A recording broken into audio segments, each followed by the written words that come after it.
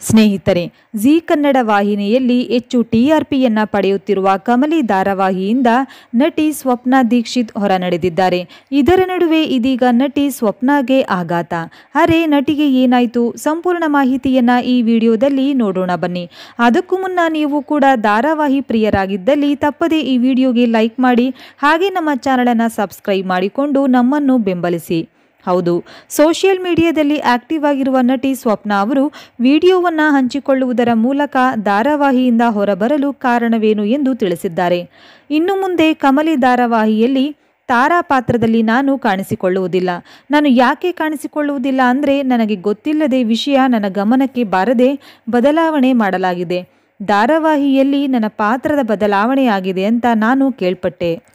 ಆದರೆ ಬೇರೆ ಯಾರೋ ತನ್ನ ಪಾತ್ರವನ್ನು ನಿಭಾಯಿಸುತ್ತಿದ್ದಾರೆ ಅಂತಾನೂ ಕೇಳ್ಪಟ್ಟೆ. ನಿಜವಾಗಿಯೂ ನನಗೆ ಬೇಜಾರಾಗಿದೆ. ಈ ವಿಷಯ ನಾನೇ ನಿಮಗೆ ಮೊದಲು ತಿಳಿಸಬೇಕು ಎಂದುಕೊಂಡೆ.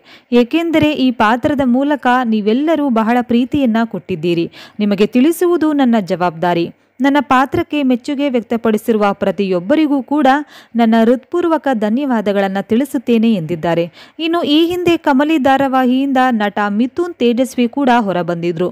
ವೈಯಕ್ತಿಕ ಕಾರಣ ಎಂದು ಹೇಳಿದ್ದಾರೆ. ಇನ್ನು ಈ ರೀತಿ ಧಾರಾವಾಹಿ ತಂಡ ಮಾಡಿರುವ ಬಗ್ಗೆ ನೀವೇನು ಹೇಳ್ತೀರಾ? ತಪ್ಪದೇ ನಿಮ್ಮ ಅನಿಸಿಕೆಗಳನ್ನು ಕಮೆಂಟ್ ಮಾಡಿ ತಿಳಿಸಿ. Thank you.